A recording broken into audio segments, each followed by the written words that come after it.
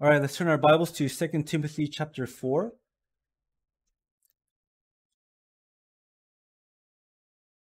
And we'll be reading from verses 1 through 8.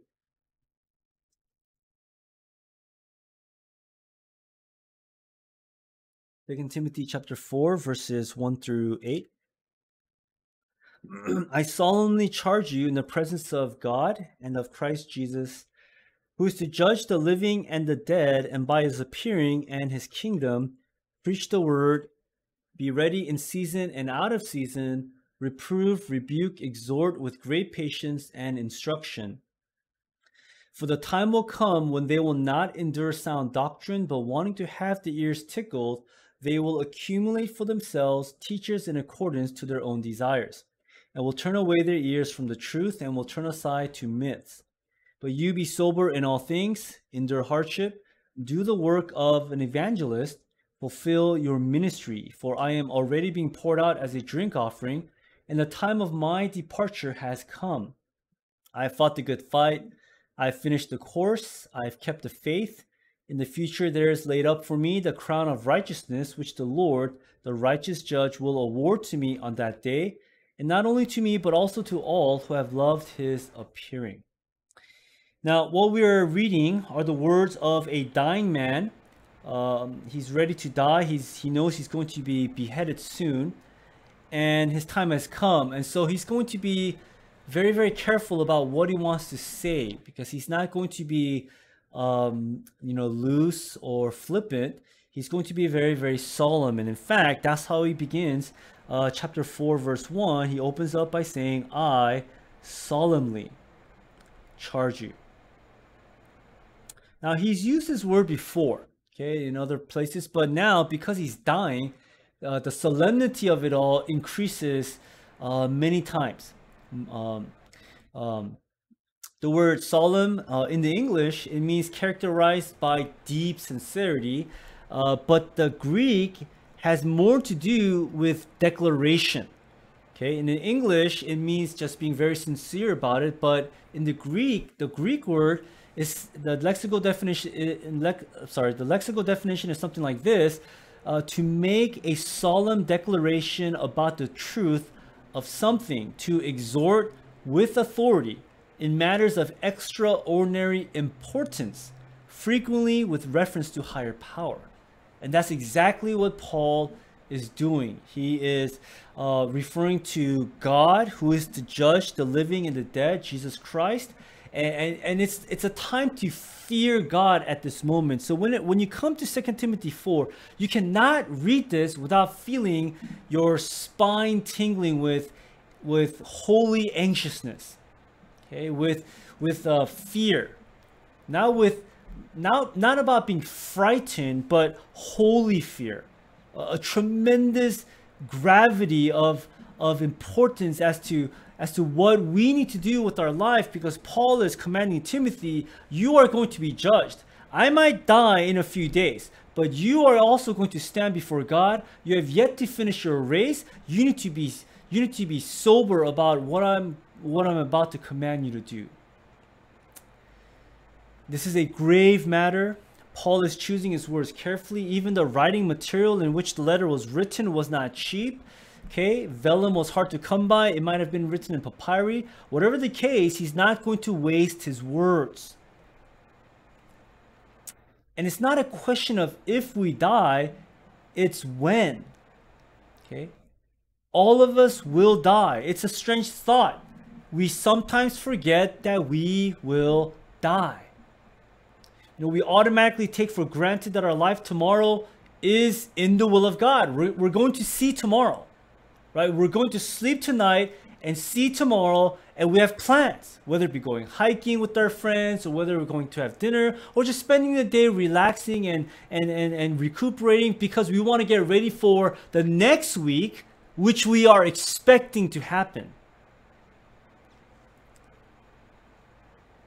We need to understand we must not take the moment that we live today for granted. Tomorrow might not come and we might stand before God because the Bible says once we die, we stand before God before his Bema seat of judgment, where he will judge, as we learned last time, he will judge us based on what we have done in the ministry for the kingdom of God.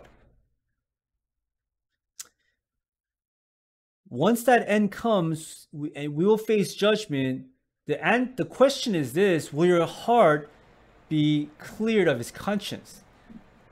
Because when we read such words as this in verses 1 through 8, Paul, it's clear he has no guilty conscience. He is so ready to die. He's happy that it's coming.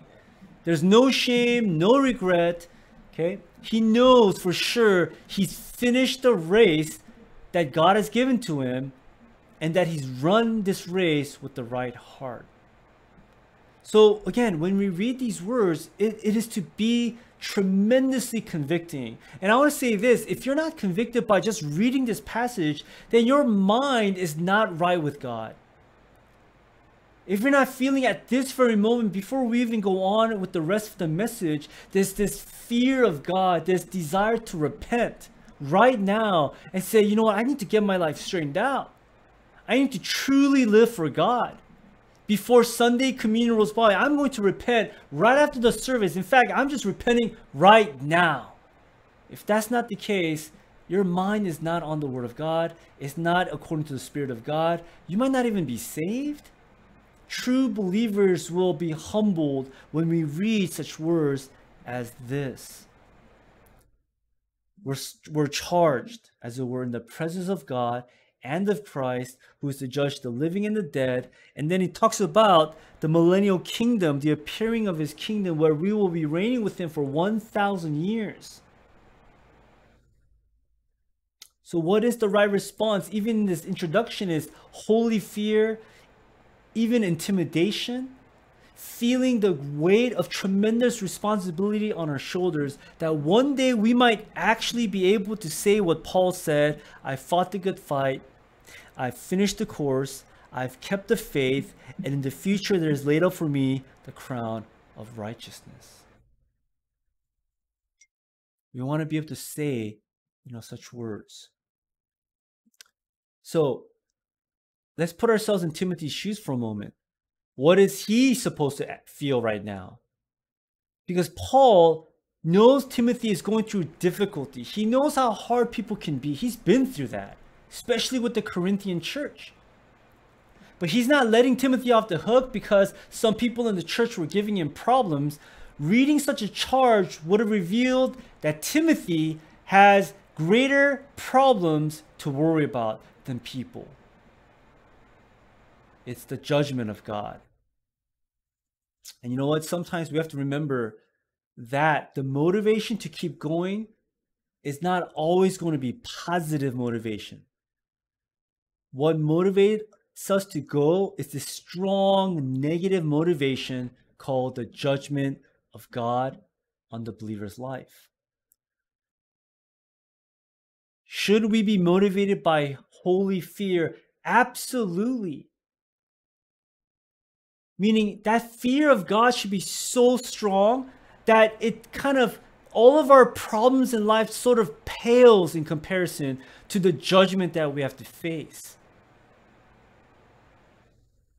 You know, whatever social problems that we're going through, whatever political issues that we're upset about, this and that, all of that just becomes nothing as we consider that we are to fear the judgment of God. Turn with me again to 1 Corinthians chapter 3. Oh, it's right here. Okay. 1 Corinthians chapter 3, verses 12 to 15. If any man builds on the foundation with gold, silver, precious stones, wood, hay, straw, each man's work will become evident, for the day will show it, because it is to be revealed with fire. And the fire itself will test the quality of each man's work. If any man's work which he has built on it remains, he will receive a reward. If, it, if any man's work is burnt up, he will suffer loss. There will be a moment of shame. But he himself will be saved, yet as so through fire. And we're reminded of 1 John 2.28 It says, Now little children abide in him, so that when he appears, we may have confidence and not shrink away from him in what? In shame. The greater our faithfulness, the greater the commendation, the greater the commendation from God, the greater glory we give back to God. The more he commends you, the more he brings glory back to himself. It's really no different than a parent who's proud of his child. When their child does something great, the glory just comes right back to the parent. Despite the fact that everyone's congratulating him, even the parent might say, Good job, well done, son, well done, my faithful daughter. You you end up making the, the father's heart um, joyful. But when the child does something bad, it's not just him who's ashamed. It reflects on the father's heart. Why do we want to do well? Because we desire God to be, I guess you can use the colloquial term, to be proud. The biblical terminology is to be pleased. We want to please the Lord. And some of you really don't have that inclination at all. You really don't love God. You're, you're not uh, you're not saved yet. That's what it is. If you don't really want to please God with all of your heart, like if this is not making real sense, you need to repent and turn and, and call upon God to save you. And if you are a believer and you've lost this, this intensity, this, this drive toward wanting to please Him, then you need to repent because you've hardened your heart. That this is all you care about. You don't want to shrink away in shame because it will cause this grief in the eyes of God. Imagine as He looks upon you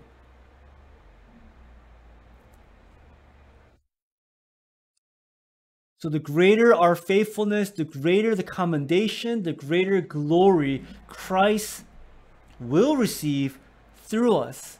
It goes right back to him. It goes right back to him. So when we strive to do good, when we strive to work the ministry of God, it's really not for our own rewards. We really don't care what we're going to get, really, right? It's really about the glory of our Lord and Savior, Jesus Christ. All right, let's review the outline. Uh, you can break it down into two main sections. Uh, the solemnity of the ministry, verses 1 through 8, that's what we're going to right now. And the second part is his dying request, and we'll look at that after we, we are done. The specific outline, the solemnity of the ministry, or we can call it the nine nine solemn mandates for the elders and the church. Okay, but it is primarily directed toward the leadership because it's talking to Timothy.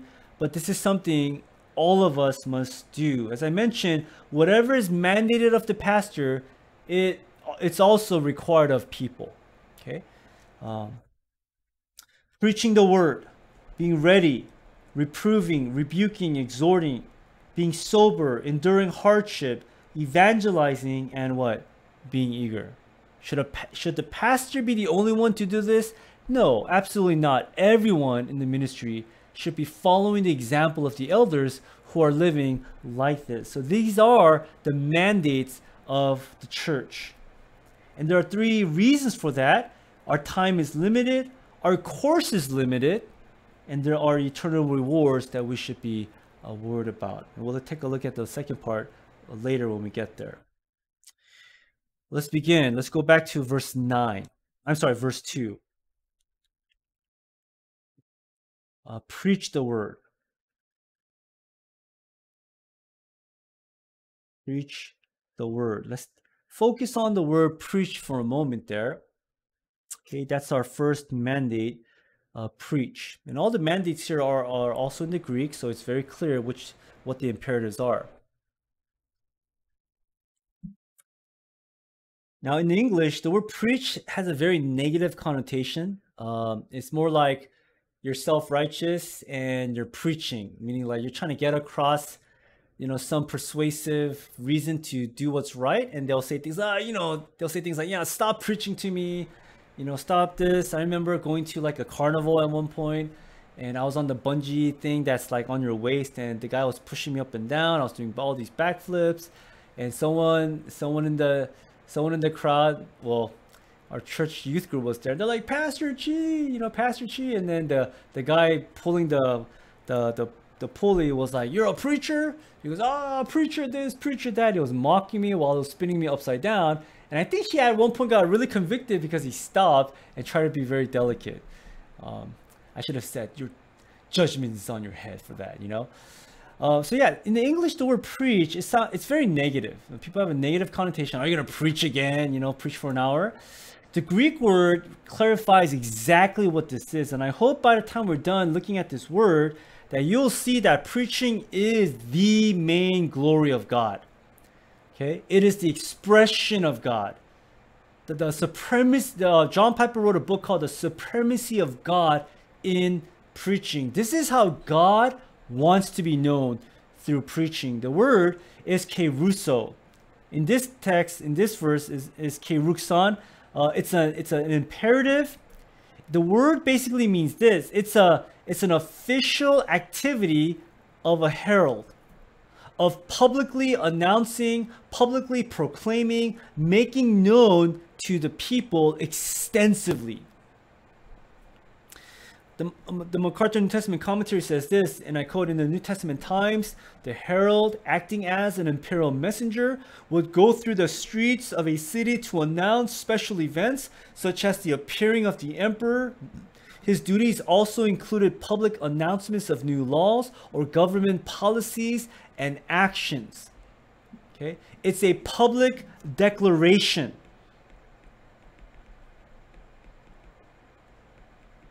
Okay? Of what God has said to you or to the to the preacher. He it's his word that you are declaring. It's not a discussion, it's not a debate.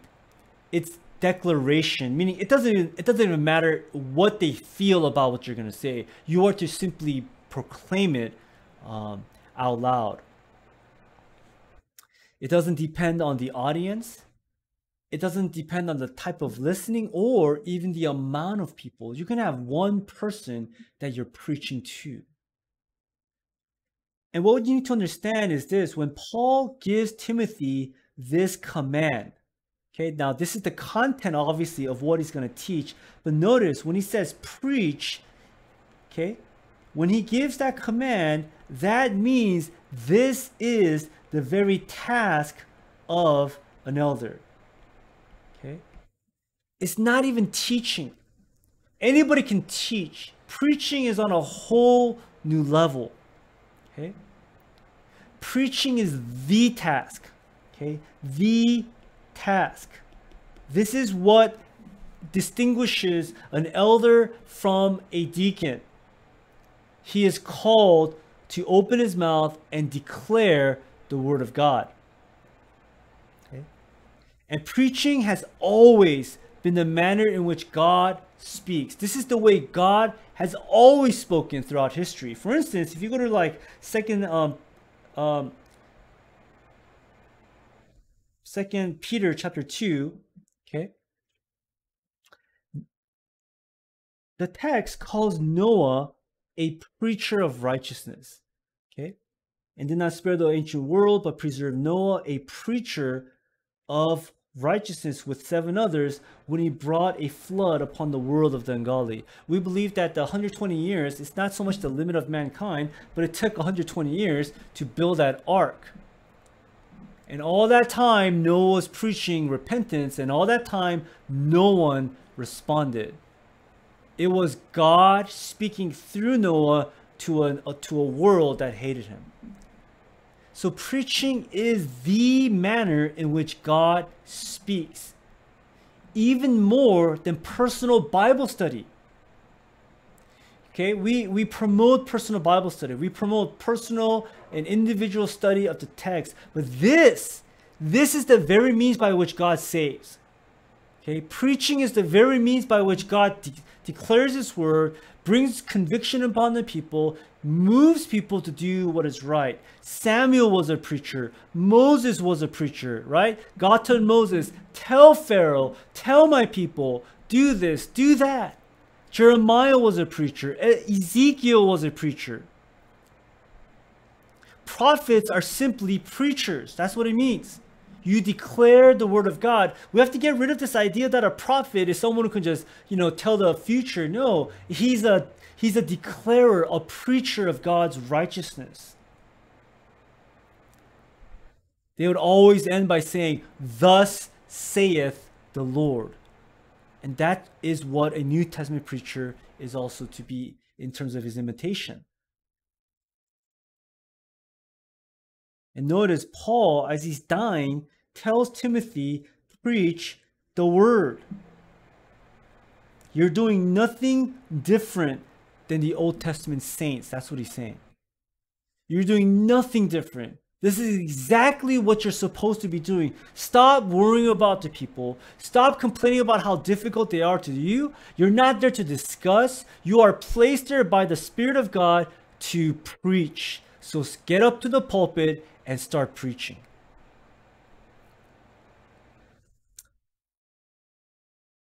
What is the content of that preaching?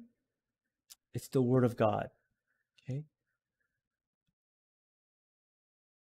Pastors are not to preach their own ideas, their own philosophy, their own reasonings, the world's ideas, popular themes, whatever they think is helpful to the people.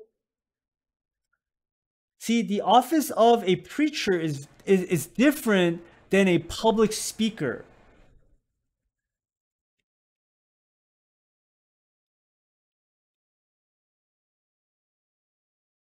Now, while preachers should learn how to speak publicly, and there are some good techniques that we have to learn, you know, um, but public speaking is not preaching. Preaching is not really public speaking.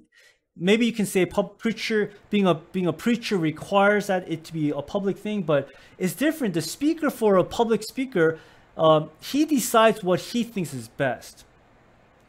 But the preacher is not concerned about what people would like or what would help them. It's not even that, it's, that's not even an issue. All that the preacher is concerned about is what God has said, not what people need to hear.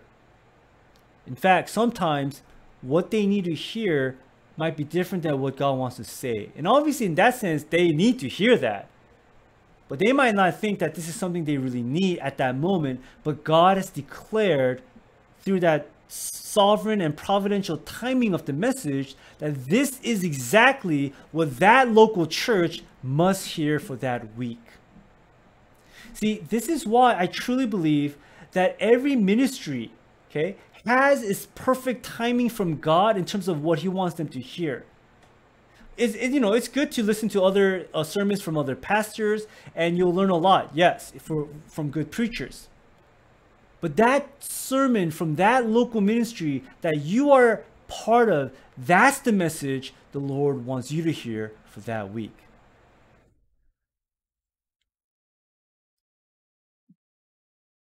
The good pastor knows that God's word will always be beneficial to those who are listening.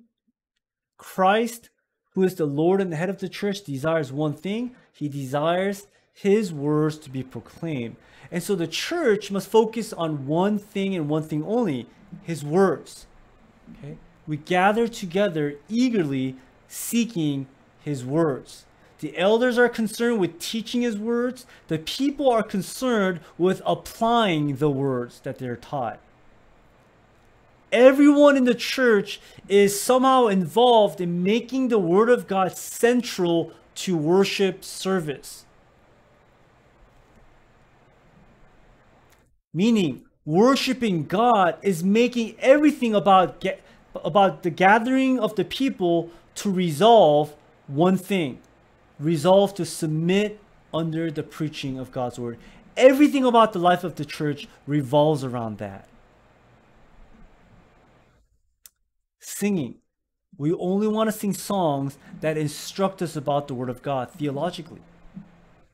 Reading the scriptures, which is very which is the very word of God. Exposition is the method by which we learn the word of God.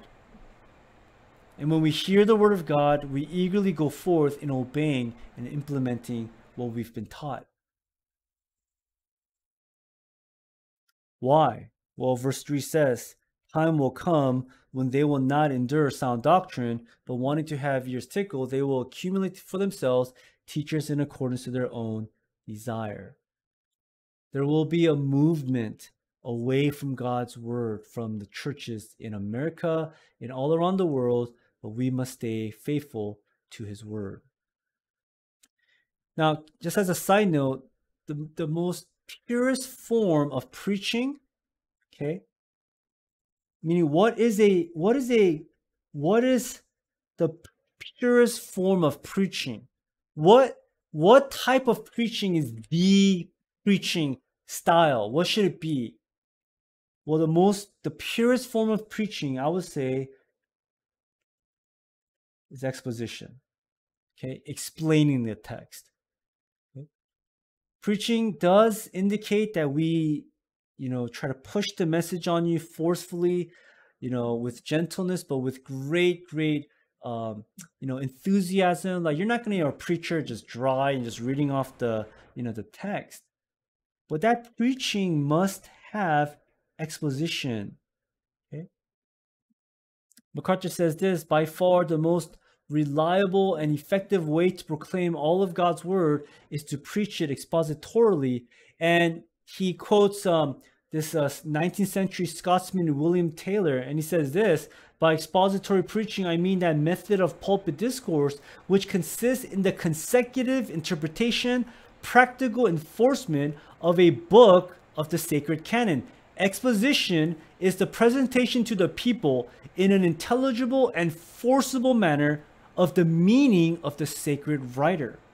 It is the honest answer which, which the preacher gives after faithful study to these questions, what is the mind of the Holy Spirit in this passage?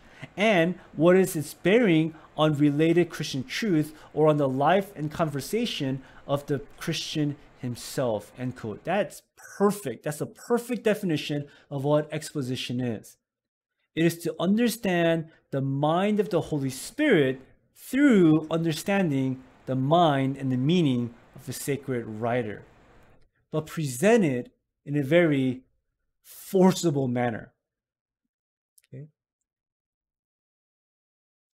MacArthur list, uh, I don't know if I listed it here. Um, I think I did. Yeah. Seven reasons why exposition must be the way. Okay, so when Paul says to Timothy, preach the word, he's basically saying, teach them exactly what I told you and I wrote about. Preach the very chapter that you're reading.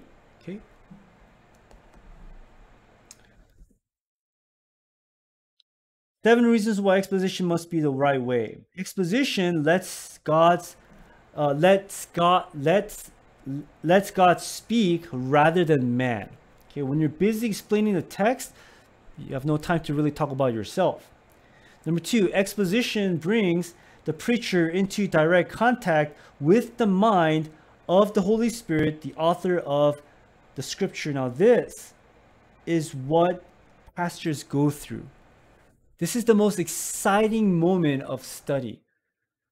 And this should be what you're after. If we talk about, you know, subjective experience as we study the word of God, this is it. When you're studying the text, you're you're hashing through all the details and it's a little bit dry because you have to read a lot of the explanation and commentaries and you have to figure out what's going on and then suddenly the light turns on and everything gets bright and you're like, whoa, this is what it means. And suddenly all of these applications just start rolling off your off your mind. And you're like, it applies here, it applies there. And you get so excited, and then you teach it, and everyone will say, Yes, that spoke to me. Because you've been in direct contact with the mind of the Holy Spirit. But it takes hours and hours the Holy Spirit only blesses those who work hard at studying. Guys, your WBSA outlines, you should be working hard at that. You should at least be trying to do it two or three times, reading notes and commentaries. The harder you work at exp- um, expositing the text or explain um, interpreting the text, the greater the blessing the Holy Spirit will give you. So exposition, because you're dealing with the text, you're dealing with the intent of the author, you're trying to bring out what the Holy Spirit intended to the author. It's you're in direct contact, you're engaging with the Holy Spirit. That's why studying the scripture, the study aspect, is the wrestling with the Holy Spirit during that time. Exposition number three forces the preacher, okay, it forces the preacher to proclaim all God's revelation, including the difficult passages. We can't skip over a, a verse. Everyone will say, like, what's going on? You know? Well, why'd you skip over that word? We want to know exactly what that word means. Number four, exposition promotes biblical literacy, and this is key. Okay, it makes you look at other texts to interpret scripture with what? with scripture. Exposition carries with it the ultimate authority. I am not I have no authority on my own, but once I understand the text and I declare to you, it's being done with the word, the authority of the word. And exposition transforms both the preacher and the congregation, and exposition is commanded, as Paul says, preach the word. So that's what he means. Preach the word. Exposit the word declare the meaning of the text in a very, very convincing, forcible, and even creative manner, but with solemnity. Okay? Not lighthearted, not as a joke, but with seriousness. And that's why there's a distinctive difference between a deacon and an elder. While both men are spiritually qualified and they are absolutely godly, the task of an elder is a preacher. That's his main task. 90% of his efforts is to be used in preparing for that preaching event. And all of you should be praying for that preaching. Does, does that make sense? You are eager to hear a good message. Guys, you never want to go through a weekend with a boring sermon. Like, if I was on your end, I would be praying earnestly for whoever is preaching because I don't want to go to church and hear something boring.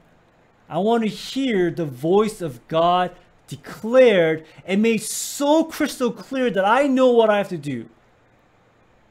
Okay, I don't want a blurry sermon. I don't want an overly long sermon. I mean, it can be long as long as it's clear. You know what I'm saying? Right? That's what we want. And so we're praying for that. See, it pleases the Spirit when the church is on their knees asking the Spirit, give us, uh, give us the preaching, right? Give us the word. You know, pr- we pray for that elder. Give us the preaching for Friday and for Sunday.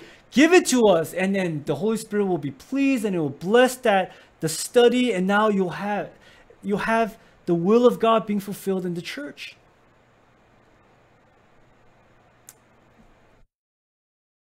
That that's what a church is supposed to be doing really. So a deacon he's to live out the preaching and the elders do the preaching okay? All right let's move on. So first mandate preach the word. Second be ready okay? Uh, be ready. Now we're going to combine that with all of these be ready and readiness goes this way as well as as well as you know all of these. Okay, he's saying be ready. The word ready uh, in the Greek, um, epithemi, epistathe, uh, has an idea of suddenness. The focus is on being available. Okay, remember uh, we said you need to be a flat Christian, F W A T, faithful, wholehearted, available, and teachable. Here it is. This it's biblical. Okay. Uh, you need to be available. You need to be ready. Okay. Uh, the, the idea is there's an urgency. Okay. A readiness. Uh, it could be used of a soldier who's ready to go into battle on a moment's notice, or a guard who keeps continual, continually alert for any threat of infiltration or attack by the enemy. And he includes this phrase in season and out of season. Now the Greek is very interesting. Look at this. Okay, it's it sounds like the English, right? In season, out of season. Eukairos, akairos. You see that? Um, kairos is the word for time. Okay, A is the alpha privative, not time with time, or opportune time and not opportune time. Okay, in season and out of season. Okay, it means here an opportune time, well time, suitable, like the right time. Akairos means inopportunely, inopportunely, uh, apparently in reference to situations that do not seem filled with promise to the speaker. Like he's kind of like he's a sore thumb in the crowd, like you didn't really have to say that, and you said it. Untimely, unsuitable, ill-timed, inconvenient. You guys understand?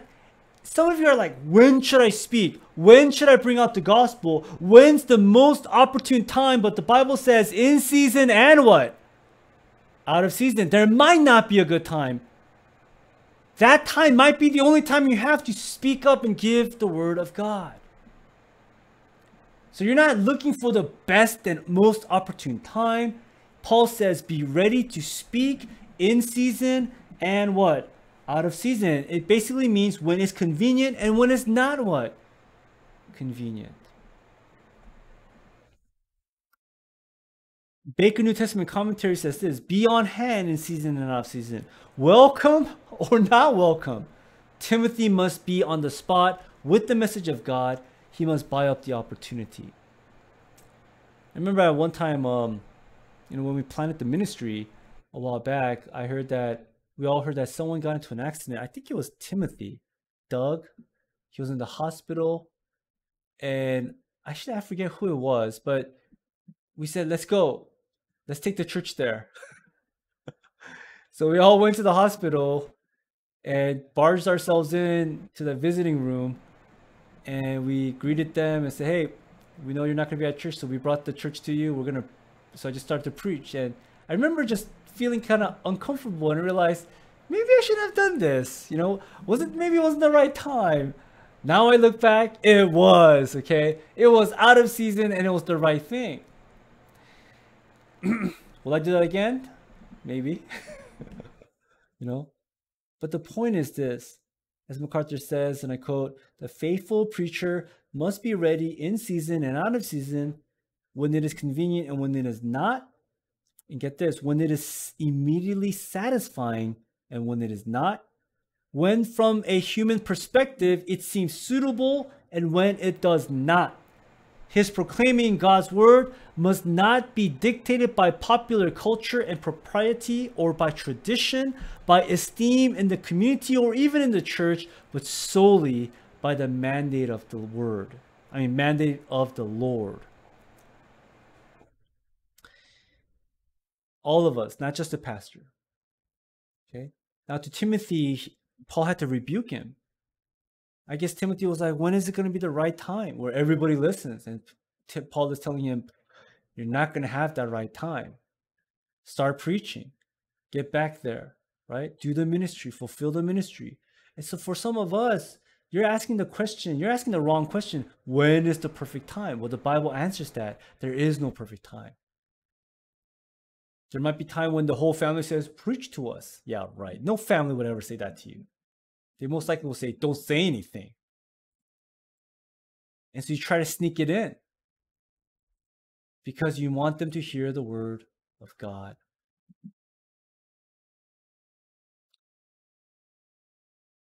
Be ready in season and out of season, but also be ready to do this. And I've included this is mandate 3, 4, and 5.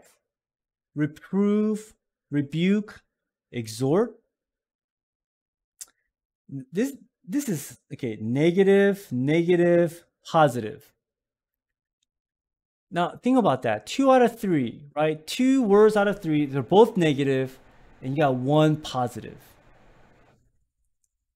This is the ministry of a pastor. Okay? My job is to reprove you, to rebuke you, and also to exhort you. MacArthur mentions John the Baptist his opening words is what? Repent. it's a rebuke to Israel. Jesus opened up his first sermon in Matthew 4 repent, for the kingdom of heaven is at what? Is at hand.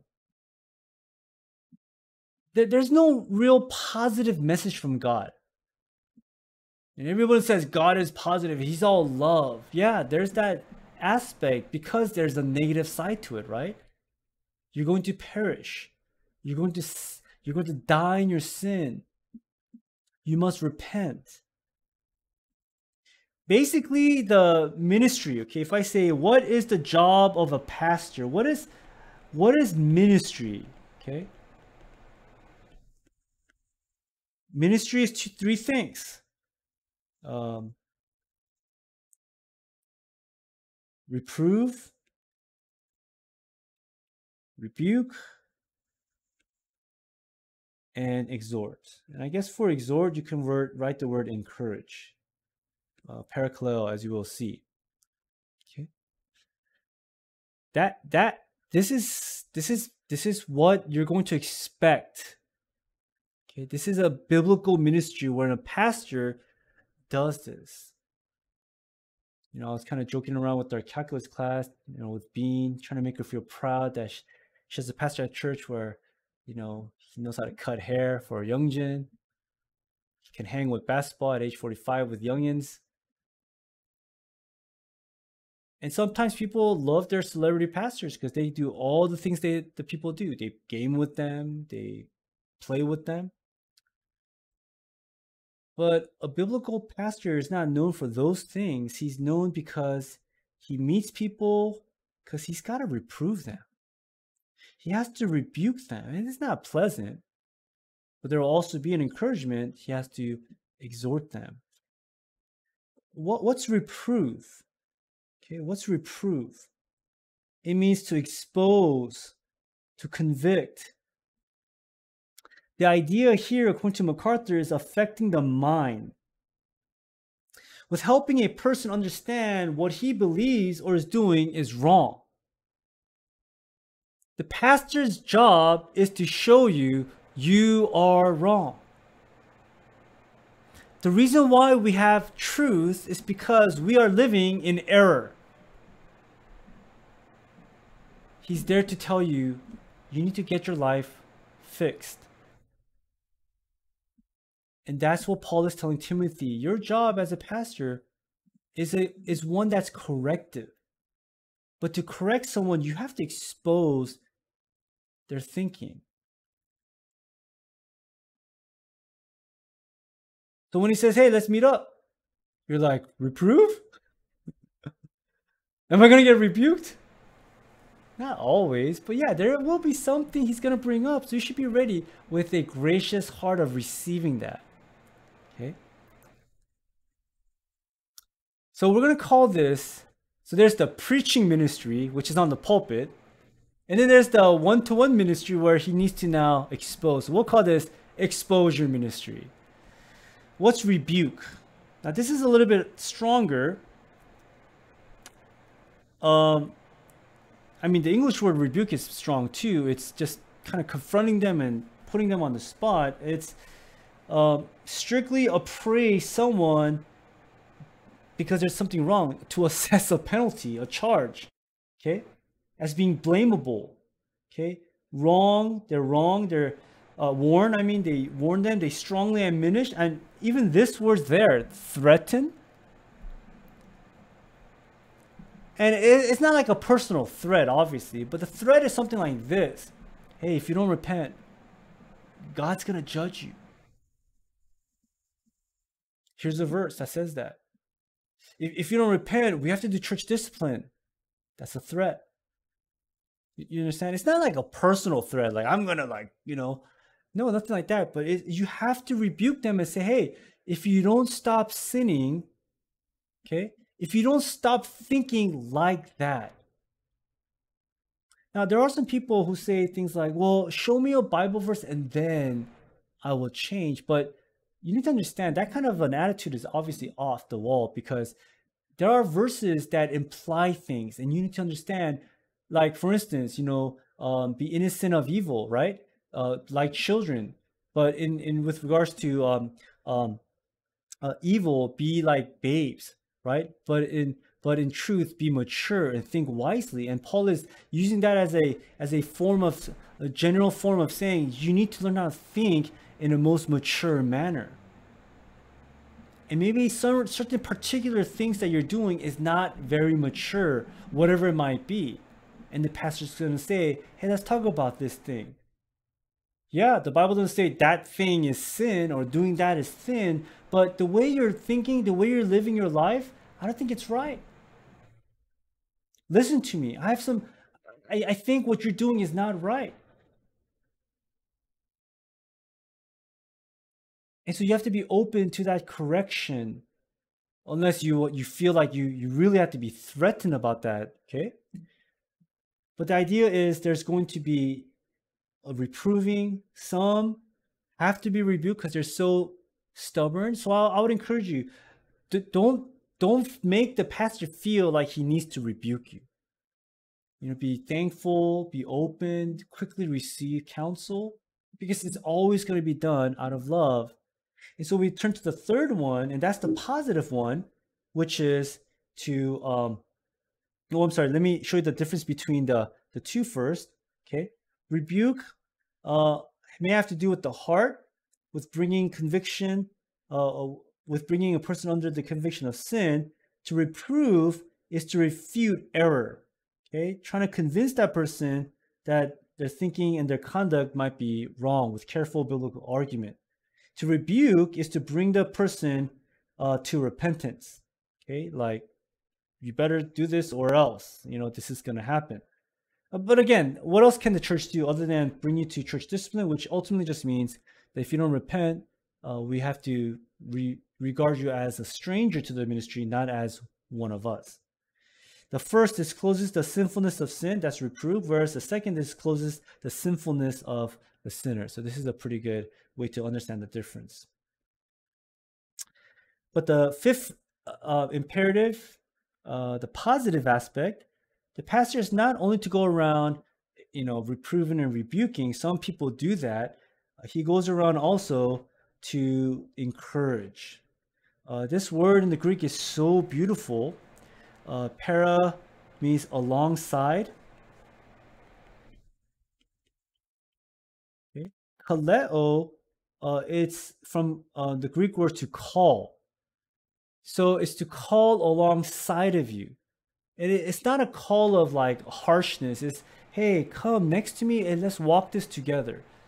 There's an encouragement there from the pastor where he's appealing to you, imploring, and encouraging.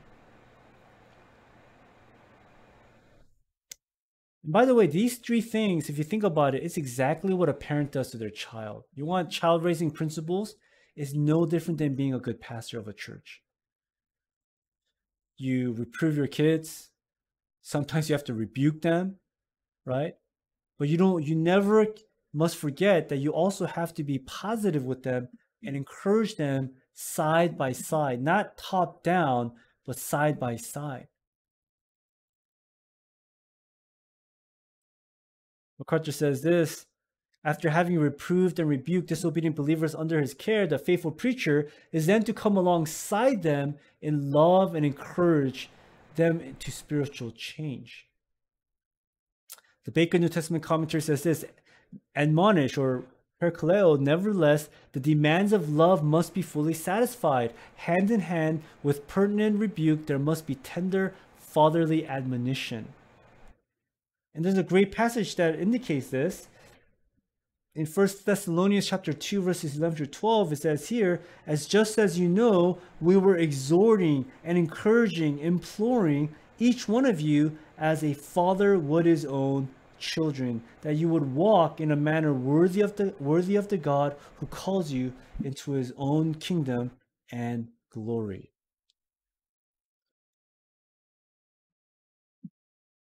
You know, some of us who haven't had fathers or mothers that were like this, this may be kind of foreign, I guess. But this is what a father does. And again, think about it. This is a picture of a pastor of the church, Paul, to the people in Thessalonica this is basically a picture of parenting. There are times to rebuke, there are times to reprove your child, but you must also em- embrace them, um, not commanding them, but imploring with them, you know, encouraging them to walk faithfully uh, in Christ. And if that wasn't positive enough, um, Paul also says this. Um, where did the verse go? Okay, well, maybe I left it.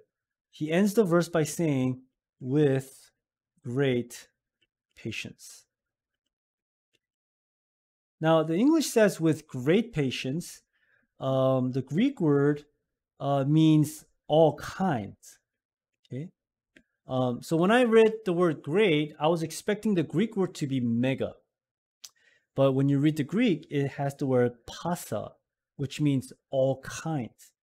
And what Paul is saying is deal with the people in the church with all kinds of patience, all aspects of patience. Okay, for this person, you need to be patient this way. For that person, you need to be patient that way. So we don't want to, and we, we don't want to imply that majority of the thinking that the church, the pastor does is just go around and rebuke people. No, that comes when there's sin, yes. So what do you do when there's no sin? You go around with great patience, waiting for them to grow and change. And when the time comes for you to speak up, you speak up. That again is very similar to child raising because if you keep nagging at your child to do what's right, they'll lose heart, right? So in the same way as we deal with one another in the church, we're to be patient, okay, with all kinds or with different ways of being patient, long suffering. This is a Christian virtue. But notice with great patience and instruction. And this is key. We don't just sit back and wait. Okay. We instruct in the meantime. Okay. After we reprove, rebuke, we expose to them what they've done wrong. We don't just sit back and just wait. We continually give them instruction from the Word of God with patience, trusting that the power of God will transform them in His own time. And so we close with verse 4. Time will come when they will not endure sound doctrine. This is so sad. Time will come. Okay. Um, when the word time, Paul is not talking about chronology, uh, but he's talking about a period or an epoch, an era. There'll be moments in time when people who call themselves believers will begin to show that they no longer want to hear the word of God. Now, when Paul says they, okay, when they will not endure sound doctrine, he's talking about those who are unconverted. Okay? Meaning they're professing believers, they attend church, they're church goers. So on the outside, they look like a Christian. They speak like a Christian. They say they believe. Okay? But they're unconverted. And Paul is saying, give it some time and they will eventually come out. Okay, this group in the church will come out and they will clearly tell you that they don't want to deal with this exposition and preaching anymore. Notice the phrase will not endure. And this is really, really clear will not endure. Okay. Uh, the word endure, uh, aneko in the Greek means like exercising self-restraint, uh, enduring patiently um, to put up with. It, it's sort of negative, right?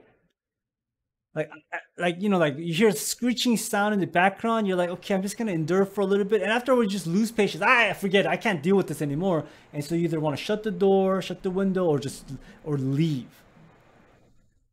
they know they can't endure it so initially everyone's going to be sitting there listening some of these unbelievers who say they're believers will say that was a great message but time will come, a certain moment in time will come when they will start rising up. They will no longer tolerate, they will no longer endure, they won't put up with this anymore. If they're the minority of the church, they'll eventually leave. If they're the majority of the church, they will kick the pastor out. And this has happened all throughout history, over and over and over again. Okay? They will no longer tolerate it.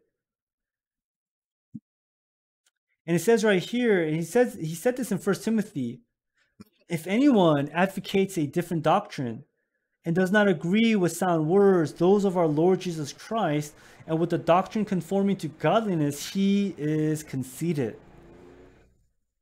He understands nothing. He has a morbid interest in controversial questions, disputes about words, out of which arise envy, strife, abusive language, evil suspicions, constant friction be- between men of depraved mind. Okay, that's an indication that they're not saved, deprived of the truth. So these are people in the church who seem to be believers. They initially seem to welcome the word of God, but give it some time, they'll eventually no longer be able to tolerate it because of their conceit. They understand nothing. The Holy Spirit is not in them.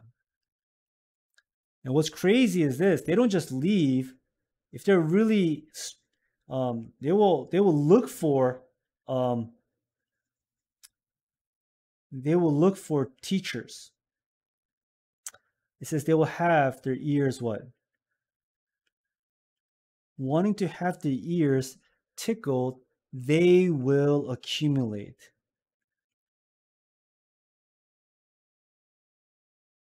For themselves. See, this is where we have to realize that human effort at trying to convert someone at times can feel so like impossible because these people who are not listening to good word, we would think when they hear it, they should react the way we did, like with joy, with great, you know, with hunger and thirst for that truth. Here,